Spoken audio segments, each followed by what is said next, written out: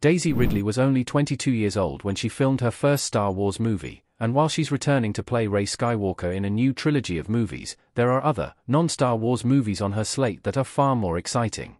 However, after the Star Wars sequel trilogy wrapped, Ridley stepped back a bit from the spotlight. Since then, though, Daisy Ridley has starred in several well-received movies, such as Sometimes I Think About Dying and Young Woman and the Sea.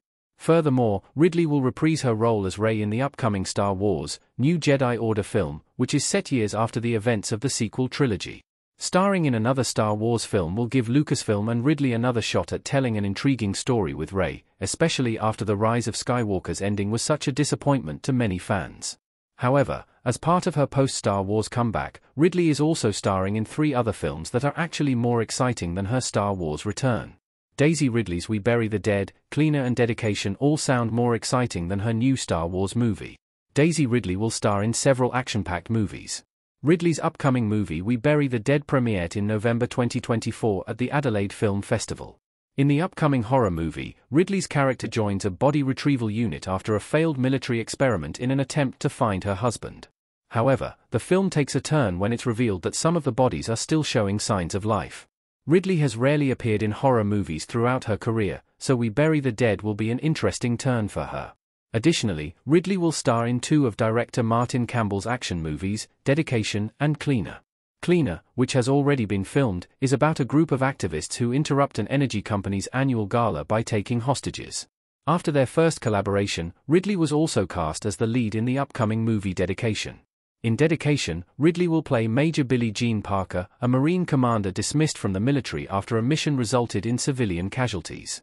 However, the anarchist group she was fighting in the Philippines follow her home and end up attacking a school. Daisy Ridley's upcoming movies can prove she no longer needs Star Wars. Daisy Ridley plays the leading role in all three films. While joining a franchise as large as Star Wars is life-changing for an actor, it can also be risky for their career. Several actors have left the Star Wars franchise and have not been able to find their place in Hollywood. Hayden Christensen, who played Anakin Skywalker in the prequel trilogy, is a prime example of this.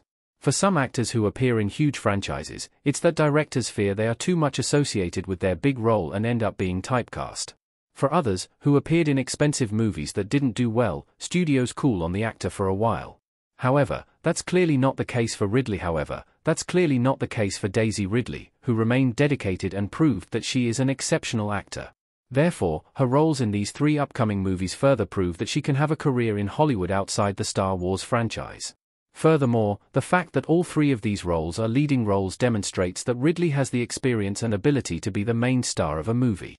While seeing her return as Rey will be exciting, these upcoming movies make it clear that Daisy Ridley no longer needs Star Wars.